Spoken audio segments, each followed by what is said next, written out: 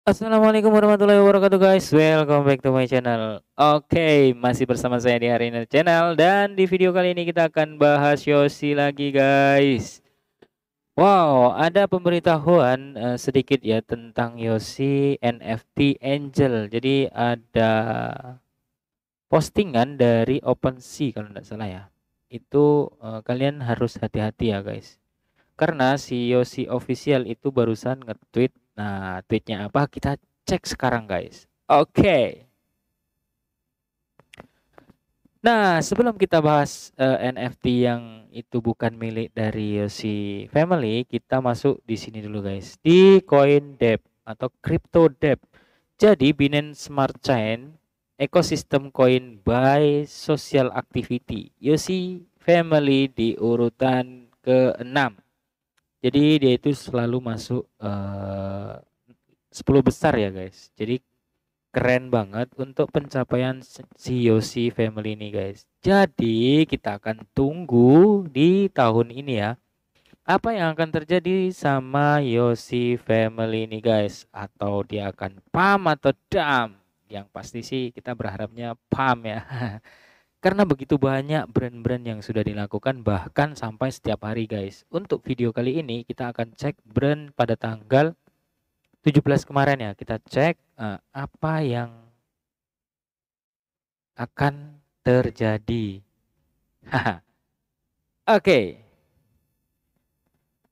Nah, ini ada dari AC Capital. Jadi kemarin itu uh, pada 14 UTC di tanggal 17 bulan 11 2021 si Van Shen uh, apa namanya relawan si Yosi Family ini sudah melakukan AMA ya atau live now di Binance live guys. Wow keren banget nih. Tapi karena kemarin saya nggak bisa ikut di live Binance setiap di klik binance.com itu kan nggak bisa diakses guys tapi nggak masalah yang penting kita lihat kabar dari Yosi officialnya guys oke kita lihat sekarang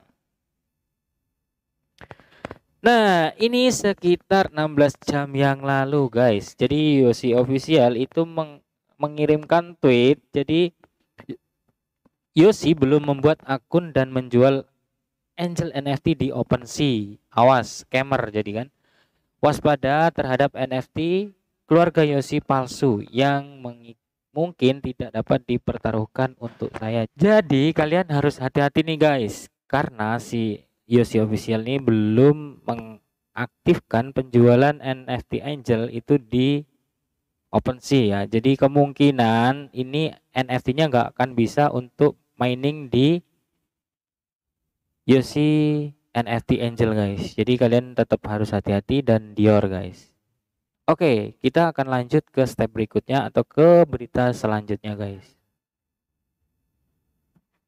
Nah, ini kabar berita yang paling kita tunggu-tunggu guys. Pada tanggal 16 November kemarin itu Yosi telah dibakar lagi sebanyak 51.000 US dollar lebih guys. Setara dengan 25 miliar token Yosi telah dibakar dengan cara transaksi, lelang, dan lain-lain. Seperti yang udah saya jelaskan di video sebelumnya, kalian tinggal cek di pojok kanan atas, itu ada notifikasi banyak sekali. Kalian tinggal klik aja dan kalian pahami sendiri. Jangan lupa kalian lakukan Dior dan disclaimer on guys. Selalu gunakan uang yang aman agar kalian gak nangis di pojokan. Nah, ini dia yang ada di NF di OpenSea ya. NFT Yoshi Angel guys. Jadi ini sih harganya lumayan mahal ya. Di 0,2 Ethereum guys. Ngeri banget. Jadi kalian tetap harus Dior, harus hati-hati ya. Pahami dulu guys. Ini benar nggak dari Yoshi Angel gitu kan?